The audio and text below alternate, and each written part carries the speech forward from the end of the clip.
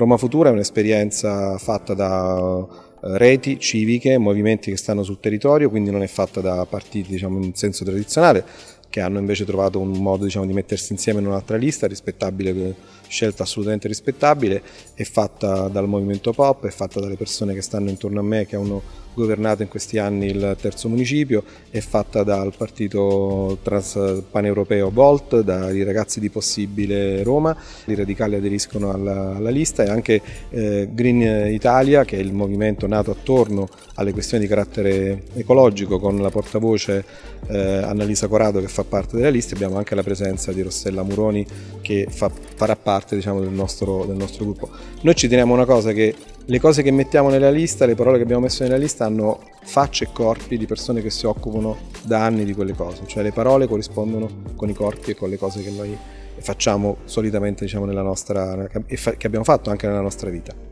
La continuità amministrativa è uno dei principi fondamentali che gli interlocutori, soprattutto i privati, cercano nel momento in cui investono in una città. Le altre città, pensiamo a Milano, di cui certe volte ci si rivolge in termini positivi, al di là adesso dei giudizi che ognuno di noi può avere su quello che sta succedendo a Milano, ma le cose che stiamo vedendo oggi le ha decise la Moratti, le ha portate avanti Albertini, le ha proseguite Pisapia e le sta facendo Sala. A Roma tutto questo è assurdo. Io ricordo che da assessore, avendo scritto prima che si facesse il piano regolatore generale tutte le critiche al modo in cui il piano regolatore generale si stava facendo. Un minuto dopo che quel piano è diventato legge non ho più scritto nulla contro quel piano se non cambiarlo. Quando sono stato assessore ho proseguito e ho attuato il piano regolatore e fatto delle modifiche per poterlo migliorare. Penso che questo è l'elemento con cui si amministra. A me fa molta specie veramente che molte cose che ho lasciato sul tavolo